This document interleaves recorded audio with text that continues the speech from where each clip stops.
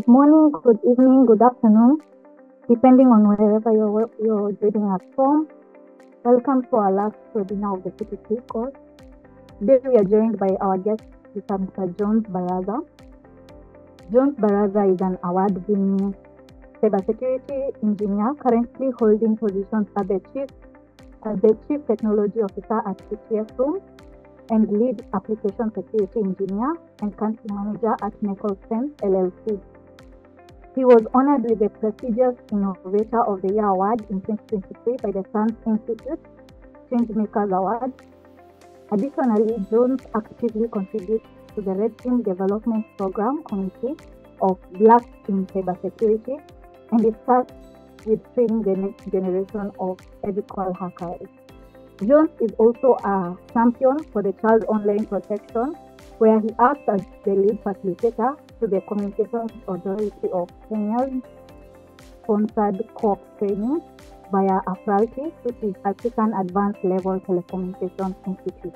In this capacity, he has overseen the training of more than 500 law enforcement personnel, teachers, the National Parents Board and Secretariat, UN agencies, and other public and private entities on the safety of our children online.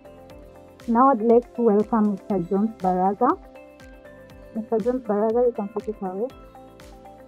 Thank you so much, Sylvia. So um, we we're going to discuss cyber safety for students, and I know the fact that we all um, interact with children uh, on a daily basis, whether it's through our homes or uh, uh, in, our, in our schools, it's important that we take a more proactive role towards securing our children. And this topic on cyber safety for students has not come at a better moment than now, considering the fact that um, we have a lot of challenges, we have a lot of threats facing children online, and it's up to us to ensure that we actually protect uh, these children. So for today, we are going to be uh, tackling four main uh, topics. Uh, don't worry, I'm not going to kill you with slides. I only have a maximum of seven slides. So uh, don't, I won't bore you so much with slides. So we're going to cover four topics today, uh, students' online protection, online risks facing students, I will also cover incorporating cybersecurity in the classroom, then we'll finish off with laws that support child online protection. So without taking so much time, I would like to jump into our topic of today. But before we do that, I would like to uh, I would like us to have a statistical preview of why it is important that we are having this discussion today. To begin with, uh, the amount of um, internet consum consumption globally um, is actually so, so high. And this has been enabled by the fact that uh, internet accessibility has grown over the years, uh, different regions, different countries. We've had uh, uh, um, internet service providers making data a bit more um, affordable. And as such, um, the rate at which um, the growth of the internet and also consumption of um, the different activities within the, the, the, global space actually has gone so high. So it is important for us to have this preview before we even proceed on jumping to, to understanding why this is important. Uh, from the first graph, you can see that we have um, some of the most visited um, some of the most visited websites. At the top, of course, you have Google. Um, you know, anytime you have an issue, just say, ah, okay, uh, I want to understand this. Okay, you just Google it. So basically, Google is uh, stands at the top. Then you have YouTube because of entertainment. You have to get entertained once in a while. We love music. We love watching um, videos, uh, movies, and what have you. Then, thirdly, we have Facebook, which we all know is a very uh, popular social networking um, platform.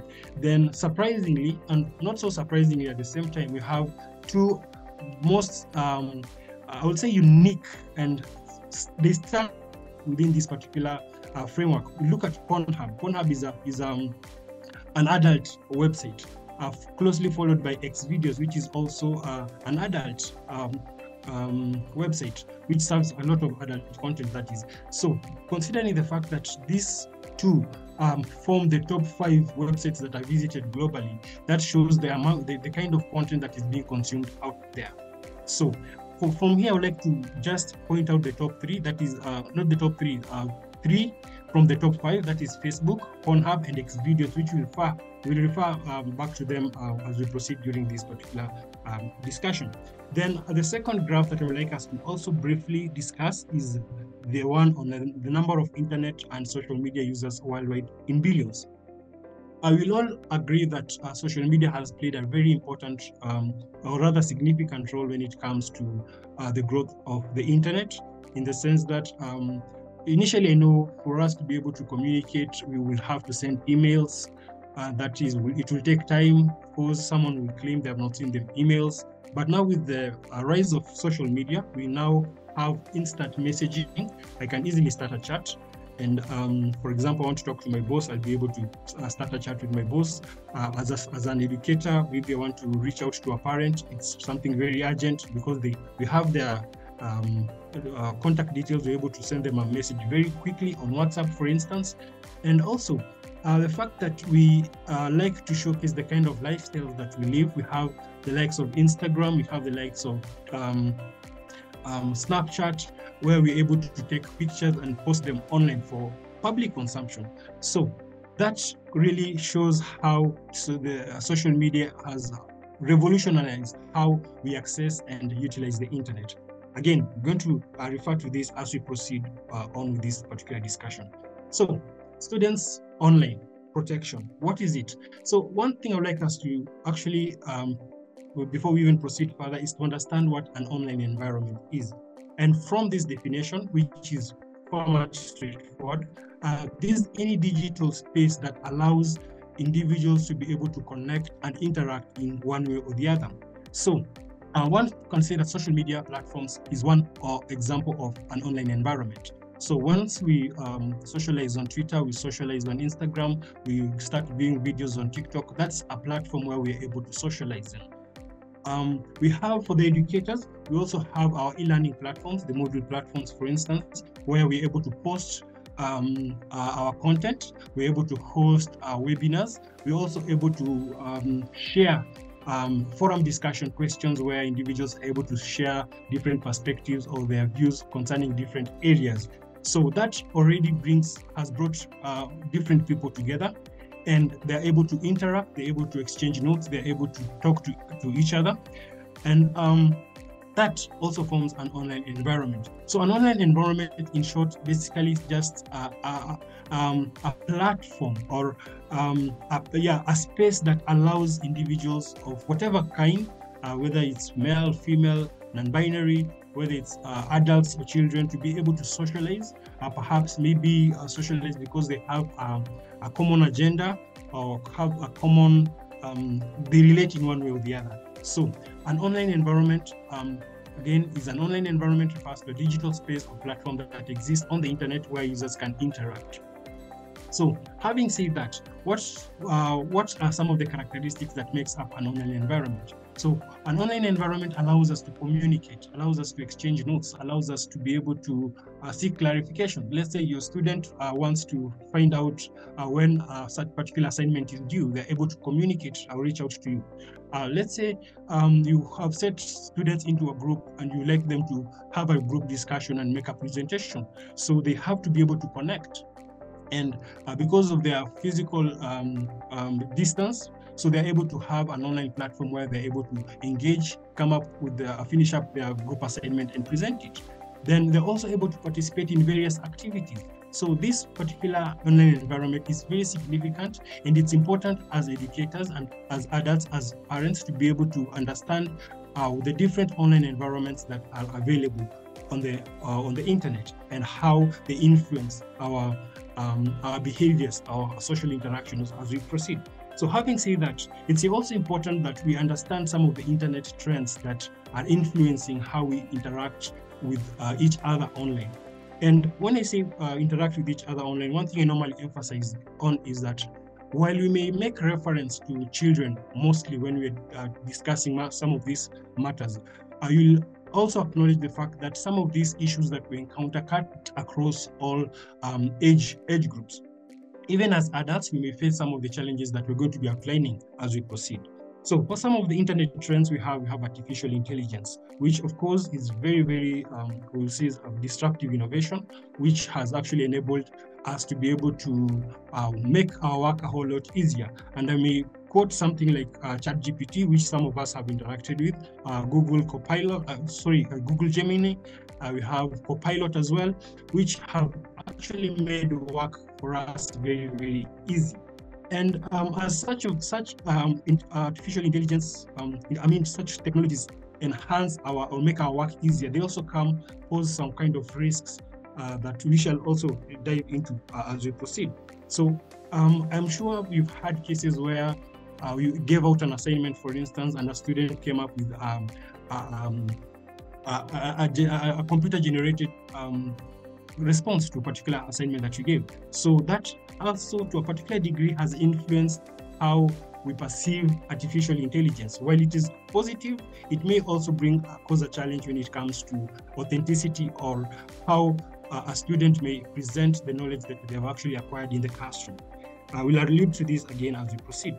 Then we have cybersecurity, which is a topic that I believe you have covered extensively, uh, considering the fact that um, we are here because um, we feel secure that we're able to interact. I believe a couple of years back, uh, around 2020, when we were having a COVID lockdowns, uh, we could we, that's when Zoom came about and it became very popular. And one of the risks associated with that was that um, people could take over Zoom sessions.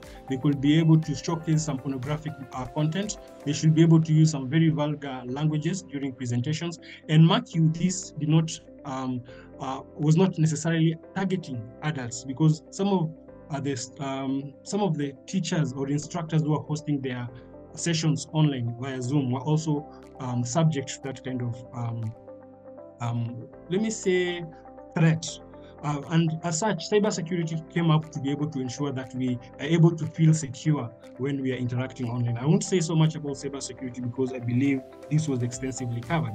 So, uh, from cybersecurity, we have uh, deepfakes. Deepfakes, would like to relate it again to artificial intelligence, where we're able to come up with uh, representations of uh, mimicking either audio or visual representation of a particular figure. And I normally give an example of, uh, in this case, when you're discussing children, I normally give an example of um, deepfake where um, someone is able to mimic your voice uh, as a parent or as a teacher. For instance, um, they happen to send a voice to this to a student telling them that um, this is the uh, teacher, let me say teacher John, and I would like us because you submitted your uh, um, your assignment late, uh, please make sure that you don't uh, leave the school without seeing me, or if you do, please meet me at a particular location. So um, with that kind of um, message and which particularly mimics the voice of teacher John, and the, the, attacker or the threat actor may go ahead and even use the picture of, let's say, uh, teacher John to be able to show just how um, authentic this message is. So when the student gets this message, of course, because they're not very much um, aware of how the, some of these things work, and that's why that's the reason why we're actually here because we're able to share this with them. Um, because they're not able to authenticate um, the originality of this particular message, they may fall victim and get dissuaded into some um, so something very bad. Something bad can happen to them just because of the deepfakes. And as we proceed on, we have social media, which of course I won't say so much because it covers a huge section of what we're covering today. So allow me to skip this and I'll, I'll circle back as we proceed. Um, allow me to talk briefly about the mobile devices. Um, and I'll give an example of Kenya where mobile devices have become very, very popular in the sense that um, approximately every household in Kenya has a mobile device. This means that um, we're able to communicate, we're able to exchange notes, we're able to interact with others. And this also ties into the fact that uh, internet connectivity has actually become a bit more affordable uh, to some of uh, some most of our households because you're able to even buy data bundles at a very low price. So that in itself suggests that um, our connectivity to the internet as a household has also uh, become much more easier. And I will also give an example whereby um, in our homes or even at school, when, for example, you're taking uh, care of children and perhaps you have a very important or urgent uh, task that you need to finish up on. So what you do is that you just give your uh, the student your phone, tell them that okay, you want uh, watch these YouTube videos um, while I finish this task, or go play a particular game while I finish this task, and that has been enabled with uh, mobile devices. Then, um, sorry. So, having talked about some of the trends that are actually um, uh, they are contributing to the diversity and also the threat that faces children online. And again, I'm repeating this, uh, some of these threats cut across different age groups. Even you as an adult, you may be able to relate with them at, particular, at a particular point. So let's talk about cyberbullying. Cyberbullying, I know um, may have been, you may have covered this, but just to reiterate what may have been covered is maybe um, you happen to share a picture of yourself and you've actually when you're sharing that picture you felt very good about yourself and uh, you wanted the whole world to see and appreciate the kind of person you are. But someone somewhere because um, of their whatever reasons they have they decide to make fun of you. Maybe you have a big nose uh, you have um, in Kenya, forgive me for doing this, but in Kenya we're obsessed with uh, being bad. So your hairline does matter a lot here in Kenya. So for example, you feel very good about yourself, but your hairline um, is interesting, for lack of a better word. You may get bullied because of that. And bullying does, people may uh, post uh, very bad comments about it. Uh, people may even call you names or even threaten you just because you posted that particular image. Or in another essence, where, for example, you happen to um, we have we, we, we, normally have different topics or discussion on the internet trending topics so you happen to post a very controversial uh, comment, and remember you're entitled to a comment as well. So having posted that comment, someone um, digs into that, uh, becomes very, very abusive, um, threatens you, goes to the extent of even trying to locate you. We had cases where uh, a simple online argument ended up with someone being stabbed, uh, which of course you can again Google that and you'll see that some some of these things have actually happened. So cyberbullying takes different forms but basically it takes a dig at the kind of person you are takes a dig at the kind of post that you make and also um, they aimed at making you feel more inferior and considering the fact that um, we are dealing with children here you can imagine just how a simple comment as you are ugly can go to uh, can be can be received by that particular child then um, closely followed with uh, cyberbullying have online predators and groomers. So online predators, these are individuals who are actually more or less interested in uh, um, the sex, uh, uh, manipulating children sexually. And this normally happens a lot on the internet because you'll find, uh, for example, for some of us uh, who allow children to be able to create social media accounts, um, you'll notice that some someone somewhere may create an account of they, they are, let's say they are around 40 years old but they create an account saying that they are 16 years old. Then because they are targeting a particular uh, girl that is perhaps uh, 14 years old so they have that language where they're able to talk to that girl they're able to convince that girl into believing that indeed this this person behind this particular um, device or the other end of the internet is actually a 16 year old boy. But in real sense, these are 30 year olds, 40 year olds, um, very elderly individuals who are actually trying to manipulate these particular children. And one thing about online predators and groomers is that the first thing they do is uh, because they know with children, the first thing you need to do is trust. So if they're able to gain the trust of the children, then they are able to manipulate them very easily. And how do they gain trust? So if for example, you have a classroom or you're a parent and you hardly ever listen to your child. Um, maybe your child has certain interest, but when they come to you, you just brush them off, telling them that, uh, no, you're old, you're too old to be doing this. So by pushing them away, uh, they happen to um, interact with other people who are more than willing to give them an ear. And remember, um, trust is earned through more or less giving an ear. Because if I'm able to share my deepest secrets with you, that means that I'm, uh, I've gained, uh, you've gained my trust. So uh, once they gain that trust, then they start um, uh, talking, um, having this, uh, this, now this is the grooming part. They now start um, creating some very erotic um, environment where they can easily manipulate these children. And for this particular section, actually does not essentially, I wouldn't say that it majorly covers only girls because on, we have had cases where also boys have been manipulated. And I would like to quote one case before I even proceed to the next one. Is there's a case of a, a boy who happened to um, get a stalker online. So this stalker asked that boy to, to send a nude picture of himself. So once he did, um, the, the, the, the, offender in this case uh, replied and told that uh, child that um, you either send me a thousand dollars or I'm going to post this image of yourself online. And we know once these images are posted online, it's publicly consumed and the child may become ridiculed. So this boy, because he could not afford the $1,000, he ended up committing suicide. These are recent cases, you can also Google it. So these cases that, that not only affect uh, girls, they also are very, very much evident with uh, boys as well. So we have identity theft and privacy issues. And this is a very, very emotive topic because uh, in as much as we understand that the fact that children have the right to privacy, where they, uh, they are allowed to express themselves, they are allowed to post whatever they want to post, some of the things they post actually could end up harming them.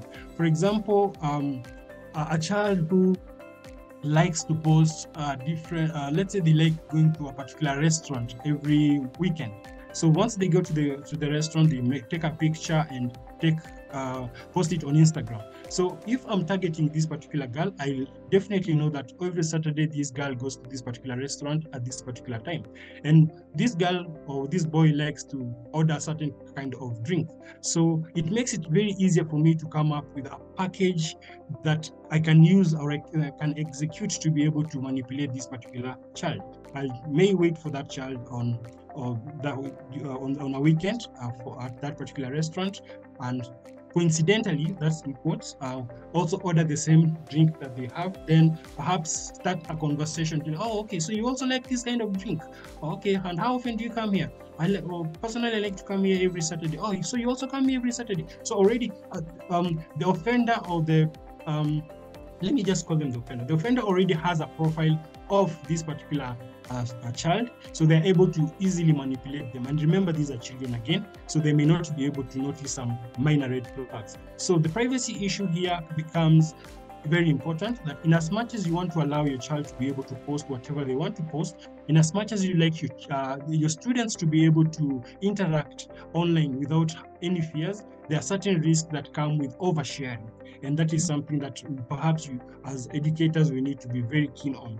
So tying it closely to identity theft. So in a much, I may end up uh, posting so much. For example, I post uh, the year I was born. I post my full names. Uh, I post, um, I happen to post maybe my email address.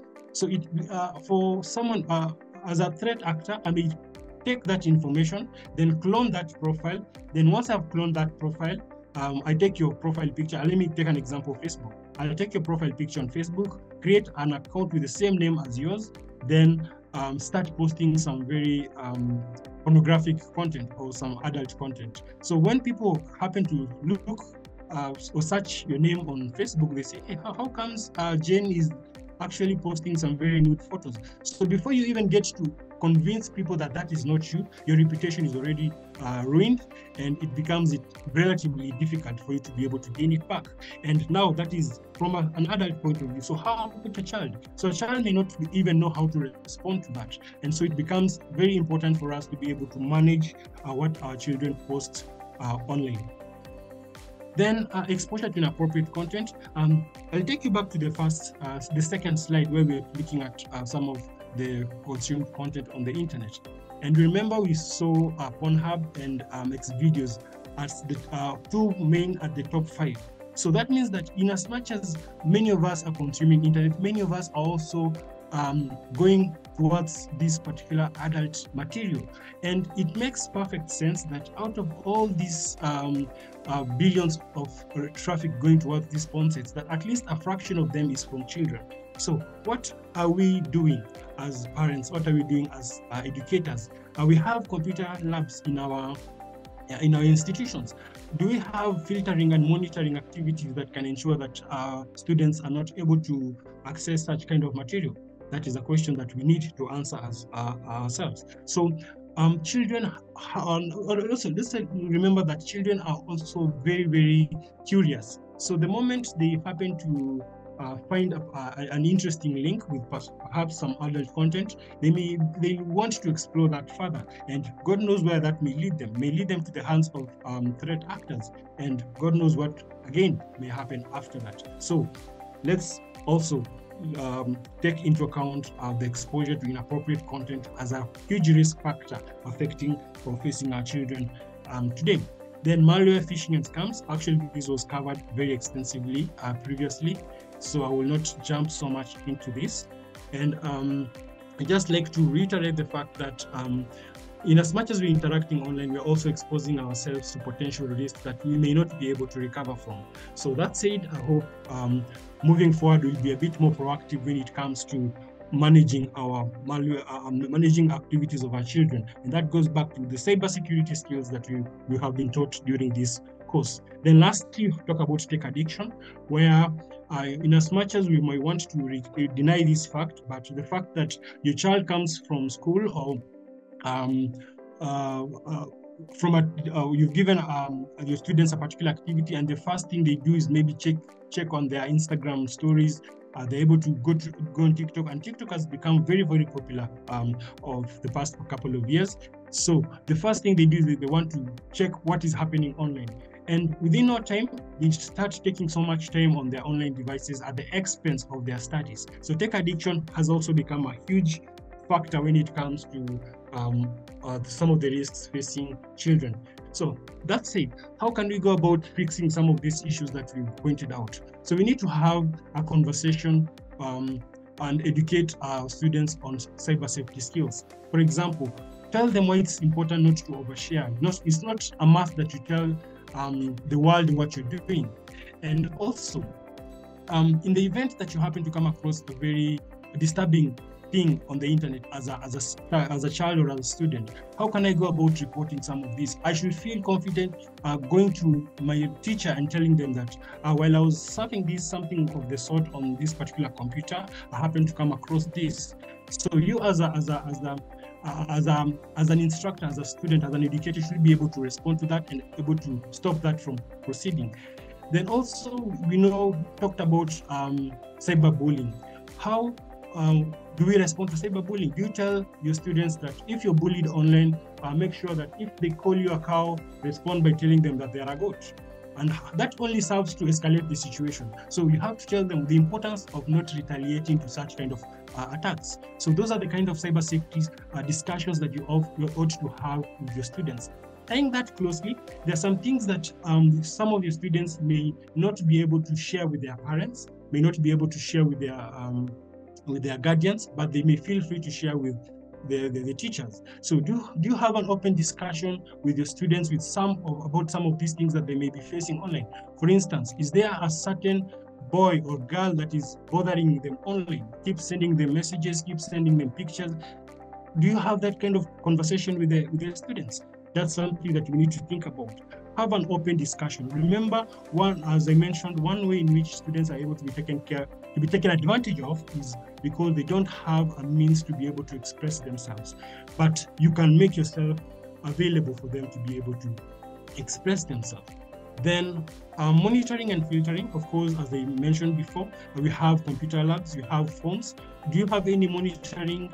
Um, do you conduct any kind of monitoring? You know, you check your your, your students' uh, machines to check to ensure um, what websites they have visited, um, do you have filtering mechanisms within um, the, your internet um, service provider or at a, at a, computer level that is able to prevent students from gaining access to adult or inappropriate content? That is something that we also need to look at very, very extensively. Then promote good digital citizenship. And this is where we talk about um, reminding you that the internet never forgets. So if you don't tell your students that whatever they post online may come back to haunt them, then it becomes very uh, hard for them to proceed or have a better life or become better uh, uh, digital citizens because they'll post a video of themselves, um, maybe in a, in a club drinking and all that, only for that video to come and haunt them when they're looking for a job. We've had cases where uh, individuals who are denied jobs because of a particular post they made on a social network. So this is kind of discussions you need to have with the students. Help them have a good digital citizenship. Let them have a very clean um, um, engagement when they have when they are engaging with others online. Then also parent workshops, and I'm going to tie this in with parent-teacher communication. Make sure that you have cordial relationships between yourselves and the parents so that in the event that um, a child perhaps is not comfortable enough to discuss a particular topic with the parent, uh, they can talk to you, then you can relay this information to the parent in a more conducive manner that will not uh, victimize the student. Because uh, one thing that really pulls down uh, our, our efforts when it comes to protecting children online is victimization. Because the moment you find them, let's say, watching porn, the first thing you do is you rebuke them as opposed to sitting them down and trying to talk to them, talk sense into them and telling them the dangers that they may face. So that is a huge area of concern that we need to be very much proactive on. So have that cordial relationship. Hold those uh, parent workshops where you all invite uh, parents to the institution take them through cyber safety as well, because as I mentioned before, some of these skills or techniques for being safe online cut across different age groups. Tell them how to monitor uh, their children activity online. Tell them how to uh, enable filtering um, mechanisms within their home environment for uh, to ensure that their children uh, um, are safe online and such kind of uh, activities. So uh, I know I'm speaking very fast. Also apologies because I'm actually rushing against time as well.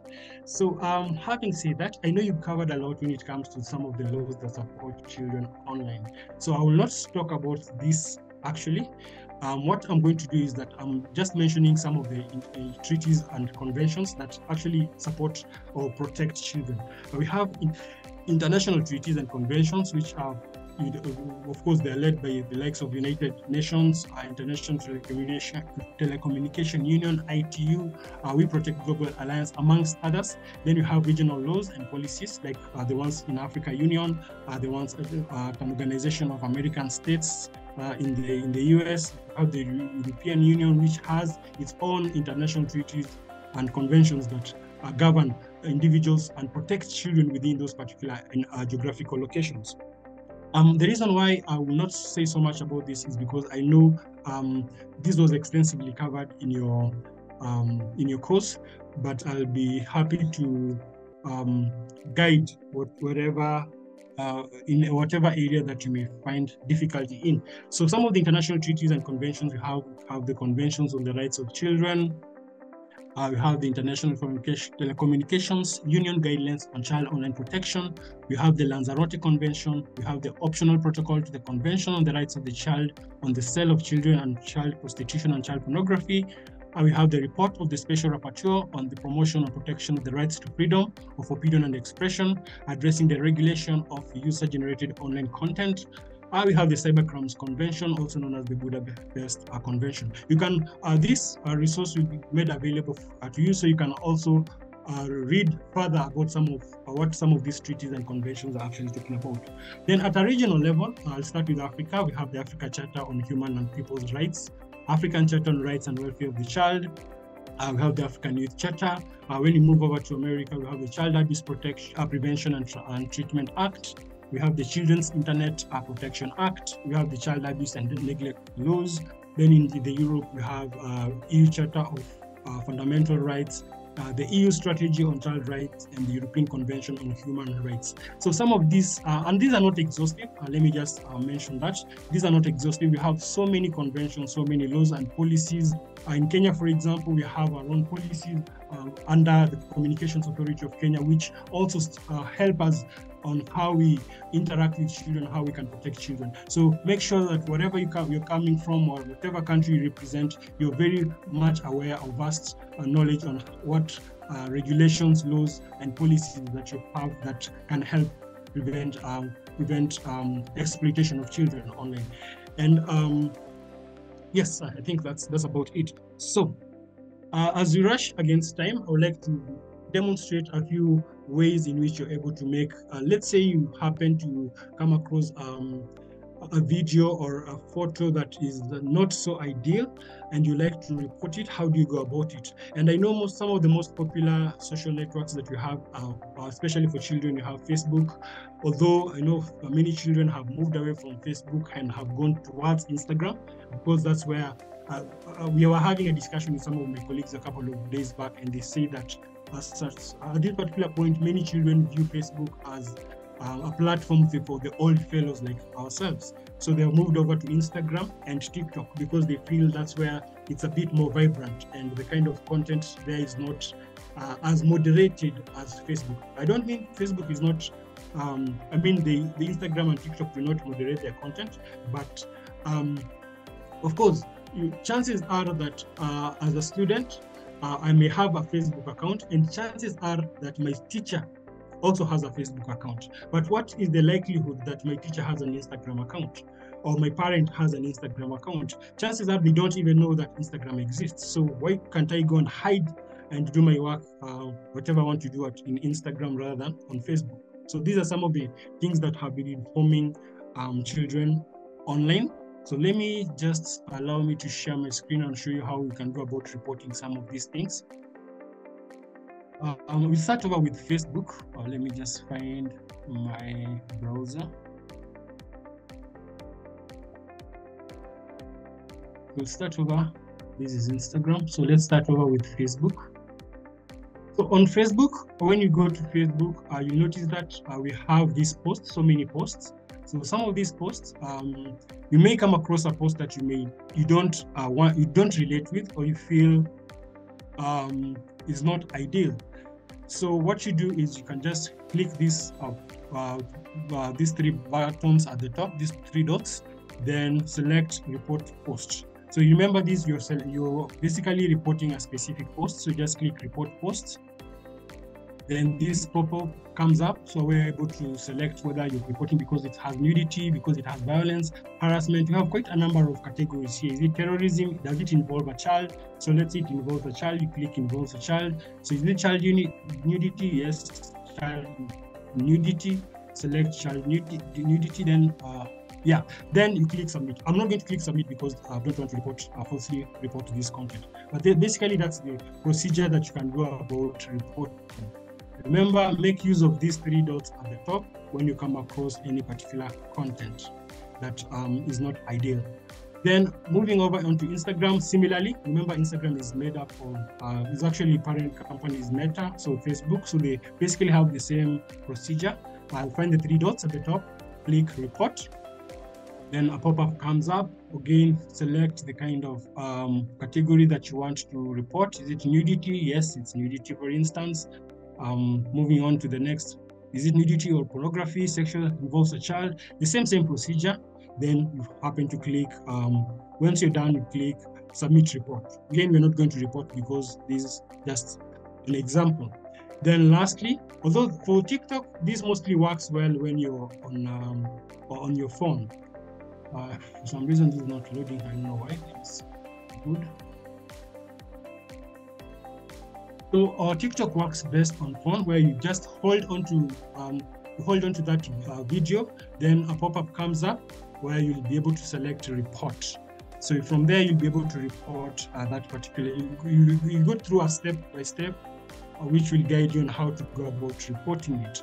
Then for, for example, if you have a, um, you have uh, an account that you want to report, you click the profile of that account, find the three dots at the top, then click report. So this is when you want to report a particular account on TikTok that you find is going against a particular um, uh, some of the rules we find some offensive material, whether affecting children in any way or promoting some uh, illegal uh, stuff. So that's one way in which you can go about this. So for, for the specific video on TikTok, uh, again, this works best when you're on phone because you simply have to hold on to uh, that particular video then click um, report.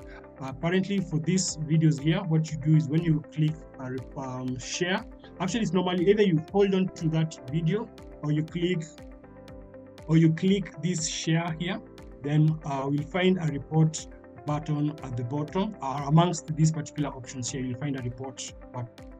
Okay. Thank you so much, John, for that interesting um, presentation. We would like to look at the questions, the Q&A. And I can see the first question we have, what is deepfake? Yes, thank you so much. Uh, so a deepfake, uh, as I mentioned before, this is basically uh, an image or a video or an audio that has been manipulated to um, to represent someone someone else. For example, uh, let's say I want to mimic someone like um, let me think Nelson Mandela, for example. We know Nelson Mandela passed on, but you may come up we may come across a video of Nelson Mandela dancing to our latest tune. And that, of course, um, when you look at it, you'll say, ah, how comes Nelson Mandela is dancing to this tune that came out just a couple of weeks back? So they are making use of the imagery. So they basically take uh, quite a number of uh, images belonging to um, Nelson Mandela. Then they come up uh, with uh, uh, they, they train the, the machines to be able to mimic different movements and those movements are able to uh, make that um, um, video of Nelson Mandela um, video. And in terms of audio, we may mimic, uh, we find uh, um, someone may record your voice and clone it to and make make it sound like you're saying something different. For example, I may just say, um, "Hello, my name is John Baraza, and I am." Um, I'm uh, hosting this particular session today.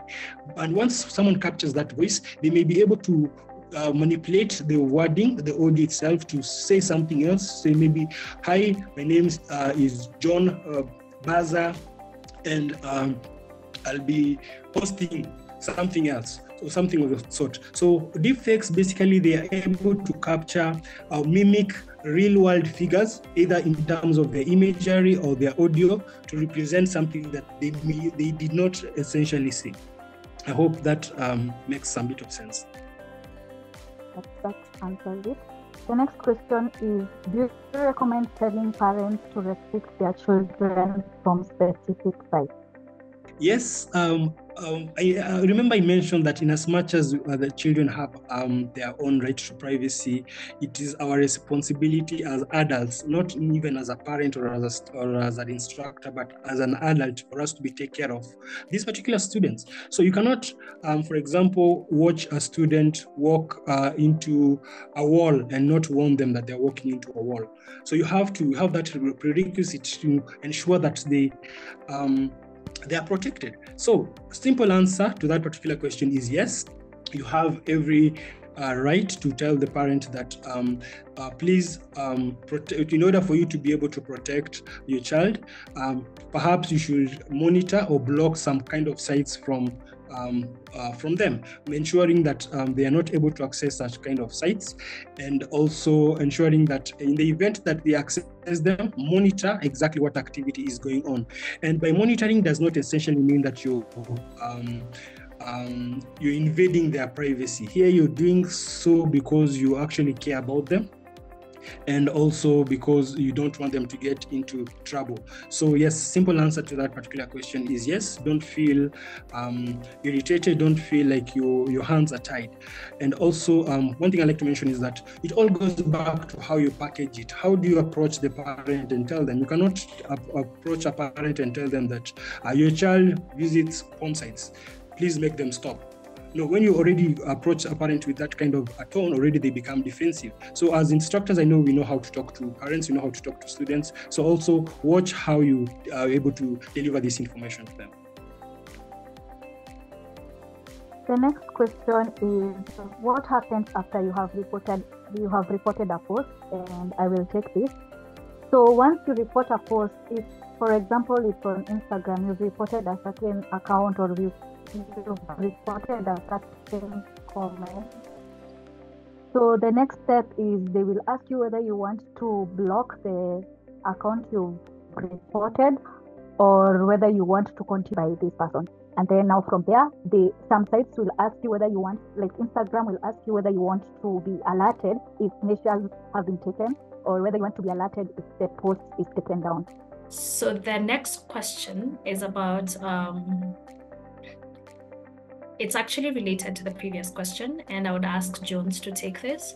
Uh, what action does social media usually take after a report is made, and how long does it take? Um, thank you so much for that question. Um, uh, social media platforms uh, take have different um, bureaucratic process that goes about um, when you when you've actually done a reporting. For instance.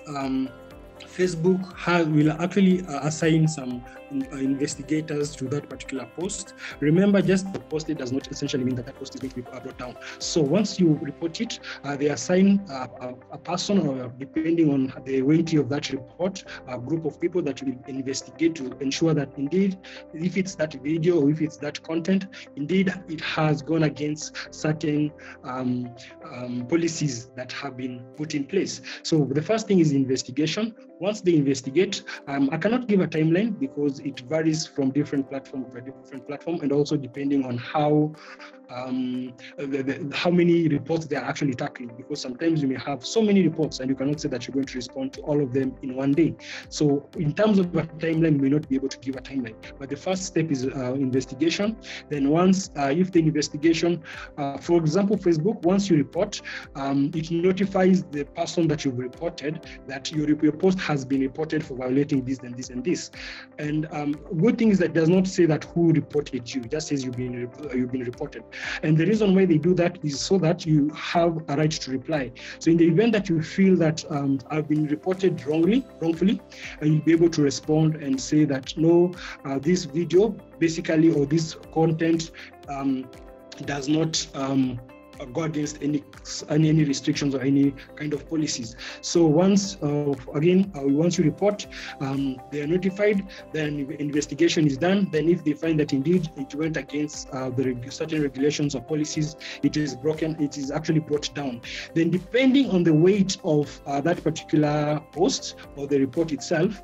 Um, they may go ahead and even inform um, um, uh, how, how the police they may go ahead and inform some detect uh, the detectives to go ahead and pursue that inform- information. For example, if it is um, it is a post concerning children and nudity or pornography, of course, just bringing it down does is not enough. So what they'll do is they'll forward this to the police. The police now will begin their own formal investigation, which will take uh, whatever duration of time that it is going to take. And uh, once that is done, of course, prosecution will begin, then um, um, possible incarceration. So basically that is it. So starting from uh, reporting, uh, you know, uh, the user is informed, then investigation is done. Once the investigation is done, it is escalated if there's need for escalation, or it is brought down if it's just uh, something that is not so weighty. I hope that answers the question. Uh, yes, it does, Mr. Baraza. Thank you. Uh, there's another question still regarding reporting. Um, sometimes on Facebook, someone can be suspended for a particular period of time without any report from someone.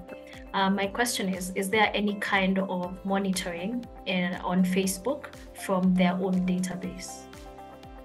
Uh, yes, um, over the years, we've had social media platforms that have employed artificial intelligence. Remember, I talked about artificial intelligence as an emerging trend when uh, uh, the formative um, session.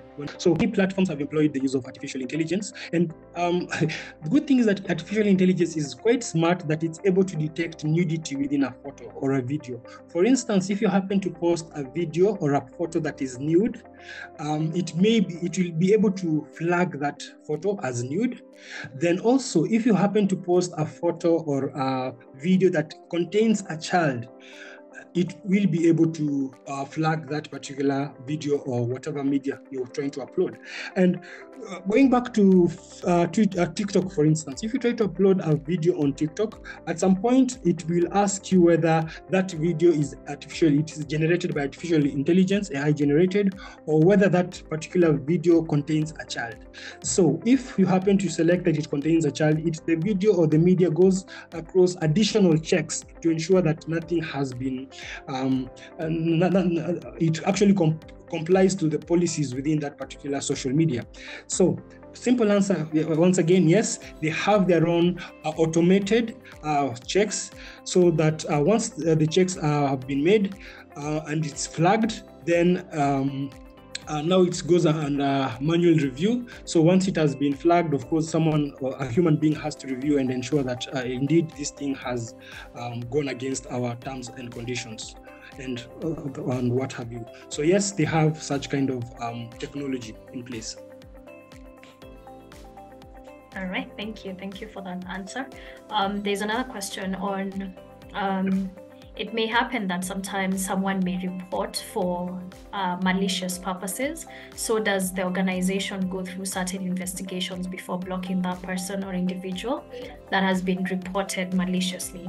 And I think Mr. Baraz already answered this in that um, he answered that the first step that um, any social media platform takes before taking down content um, especially if it's been reported by other users, is to have investigations so that they do not block or uh, take down your content uh, before they've actually ascertained that it's um, it kind of goes against their code of conduct and uh, the rules of using the social media platform. So yes, investigations are done.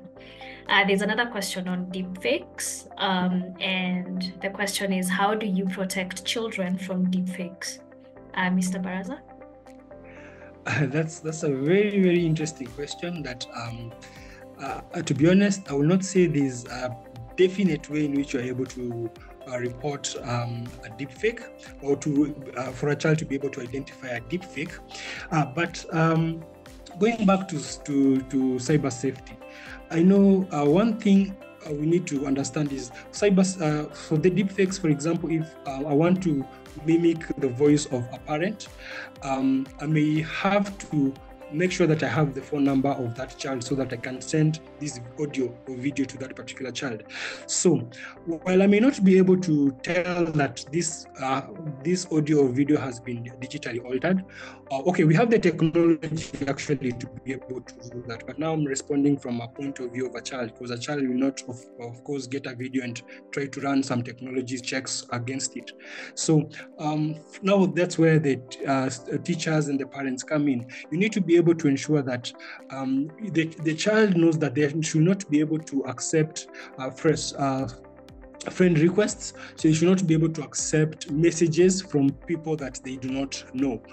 And also yeah actually mostly also yeah, they should not be able to just accept any friend request. Um, with WhatsApp, for example, they should not be able to just open any content that has been sent to them, especially if it's unsolicited and they don't know the person who has sent them. So this goes back to this um, the discussion you have with the students on cyber safety and how to become um, good digital citizens. That basically uncovers some of the uh, checks and balances that they need to put in place for them to be able to stay stay safe. Then, from an adult point of view, uh, we have technologies uh, that have emerged that are able to tell whether a particular media is uh, has been generated by uh, artificial intelligence or not. And that's why, for example, we have if you have to generate some content from ChatGPT, you can verify whether this content, uh, even for plagiarism, there are some plagiarism checkers that are able to tell you that uh, this particular content has been generated by artificial intelligence. So while this technology is still um, advancing, we believe that at some point we'll be able to have automated um, um, kind of uh, detection and response mechanisms within the different social media platforms, different uh, chat uh, platforms that will be able to uh, detect that a particular media has been digitally altered. But for now, unless you happen to have the knowledge and the know-how of the platforms to test, may not be able to do that for an adult. And for a child, of course, you don't even have the first thing you cannot even think about having to check if this is uh, legit or not. So that goes back to what do you know about being safe online? Thank you. Well, thank you for that. Um, maybe we can take one last question before we go to course announcements. Uh, so there's one last question uh, for you, Jones. Um, due to portfolio requirements in Jamaica, we are asked to post on social media. Are you suggesting to inform students on how to report any form of cyberbullying beforehand? If so, does the school have to then have repercussions for cyberbullying, for example, in their school rules? Um, one thing I'd like to mention is that um, you know when it comes to digital and data protection is actually it's an emerging uh, trend within the whole globe. Just recently in Kenya, we had the Data Protection Commission put in place. Um, we have um, in the EU, EU, we know we have the GDPR, which is basically protecting um, personal information. Then uh, for Jamaica, I'm not so familiar with the laws governing data uh, in Jamaica, but progressively I believe um, they may come up with something if none is already in place. But concerning the fact that you have to post on social media, I think um, as an institution, uh, I don't know if you can come up with your own internal policies that define um, not just the kind of uh, things that can be posted online, uh, but also the degree which can be posted. So what do I mean? For example, um, you don't have to post the whole uh, um, information that identifies a particular individual.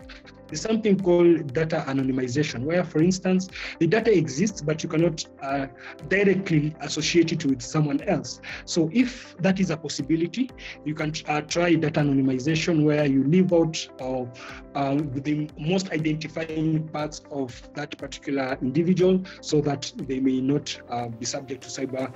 Um, uh, um, cyberbullying, then yes, again, as an institution, I think it um, it is your responsibility to ensure that uh, your children, your students are actually safe. So whatever mechanisms that you can employ legally you should ensure that you put those mechanisms in place. Because at the end of the day um, something may happen. Uh, you may not be legally culpable but at the back of your mind you'll say okay i wish i could do this. So let's avoid the part where we we start wishing we could do something if we can do something now all right, uh, thank you, Mr. Baraza. Uh, that brings us to the end of uh, the Q&A. Uh, now on to some uh, course announcements, uh, since this is the last webinar of the CTT course. so the course will officially end on Sunday, that is May 5th and this will enable us to generate and share your certificates within the following week. Uh, so if you have not completed um, any of the module assessments, please take the time between now and uh, Sunday to complete uh, all the course requirements. And just to remind you about the course um, certification requirements, um, which can be found under week zero um, under certification guidelines. Uh, there are two certificates that um, you are eligible to receive either one of them. Uh, so there's a certificate of completion or a certificate of participation. And to attain the certificate of completion, you need to have scored an average of 60% and above in any of the three module assessments in the course. Um, as you're very well aware, we have uh, five uh, module assessments throughout the entire course. So if you do average 60% um, in three, in at least three of the module assessments, you'll be able to receive a certificate of completion. While if you do score an average of 50% and above in any of three module assessments in the course, you will be eligible to receive a certificate of participation. Uh, so you can only receive one of the two uh, certificates uh, depending on how you score in your module assessments. Remember that you can retake all the module assessments to improve your score. Uh, so please take the time between now and Sunday to do that as well. And then lastly, we have uh, two surveys that are available to you. Uh, we send the announcements today. We have a Tell Us Your Story uh, survey that enables you to share a little bit of your story around online learning and also your experience as a teacher uh, with us and with uh, Call, and they're able to use it for uh, future engagements. You can be able to see an example through the announcements that we shared with you. And lastly, we have an end of course survey uh, that will allow us to improve this lovely, amazing course that you've just completed. Um, so please take the time to fill in these two surveys uh, for us to be able to improve um, the course for future offerings. Uh, we thank you very much for sticking around un- until the end and sticking with us even uh, through the connectivity challenges that we face today. Uh, we hope that you have enjoyed the webinar today, that you have learned a lot from our guest speaker today, and thank you for your participation throughout the throughout the webinar. Thank you very much, and thank you for also joining us throughout the entire course for the last five weeks. Uh, I'm wishing you a lovely rest of your day. Uh, goodbye.